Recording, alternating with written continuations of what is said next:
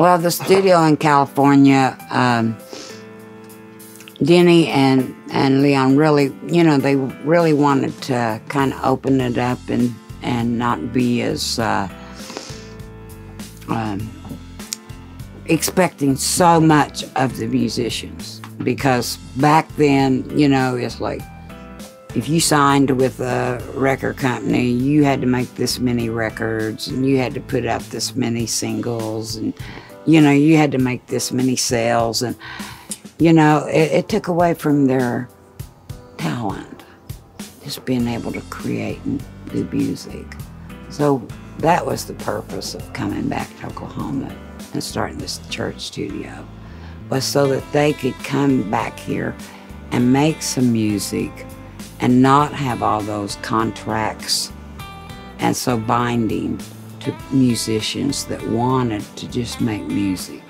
We were sitting in a circular, there was a circular booth, and if you were sitting on one side of the circular booth, you could look out the window and you could see the church. And then if you're at the other side, you really couldn't. You'd have to turn around and look. And I said, that church is for sale. And he said, is it really? And I said, yeah. I said, There's a number out there. So Denny said, well, after we get through eating, let's go over and get that number and call it. And I said, okay. You know, Leon's all right. So we walk over there to get the number.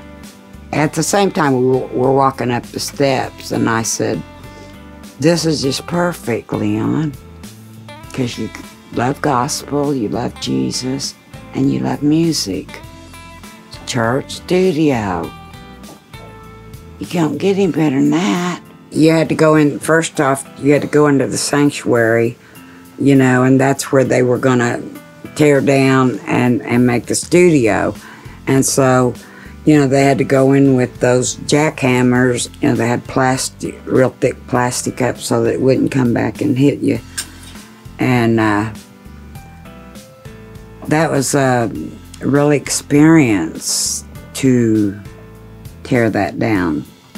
It wasn't just as simple as you were tearing down a wall. You were tearing down a church.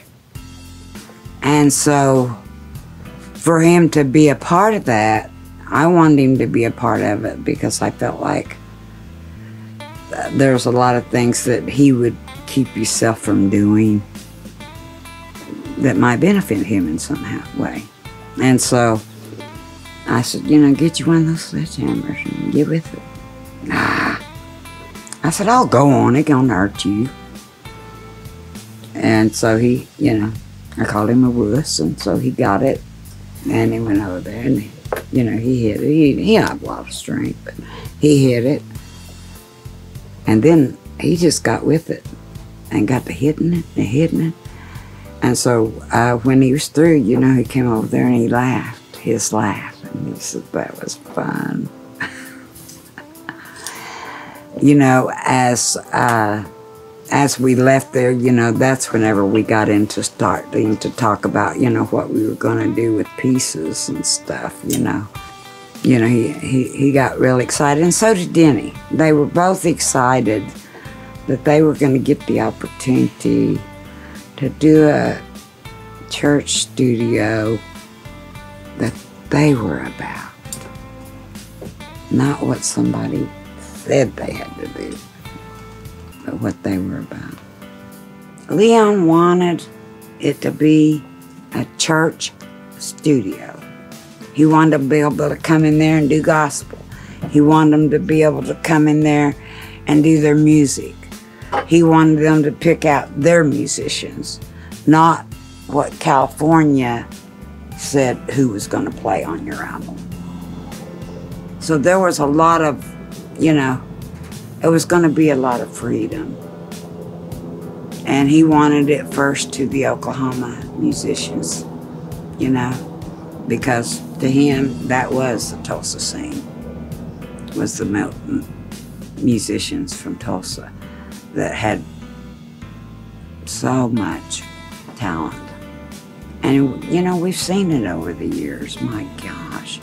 It just, you know, so many of them had passed, but, you know, their music, I mean, you know, is, is, uh, it's not like music anywhere else.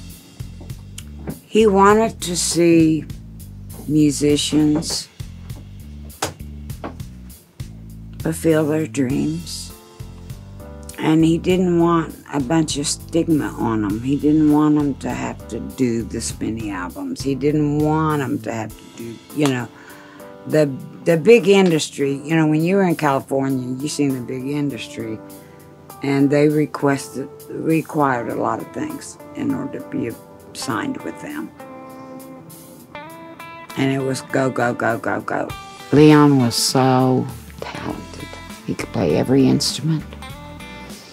He could watch people interact and write a song. He could take his life and put it to a song. You know, that's to him was being able to create from his heart, you know. That's why it was real easy for him to jump into some gospel songs, real easy, you know, from a song he was doing. You know, all, I could say is, to me, he was the maestro. To me, he was the maestro. He would help people to build the music, the lyrics, whatever you, you wanted. He was the maestro. And anyone that ever had the opportunity of being around him, I don't think there's a musician that ever sat down with him that doesn't enjoy, didn't enjoy his creativity. But he always gave credit to God for his creativity. Always. And that, you know, that's one of the things that Mary and I've shared since he passed is that, you know, we're so grateful that we got to be around that part of him, you know, the spiritual part.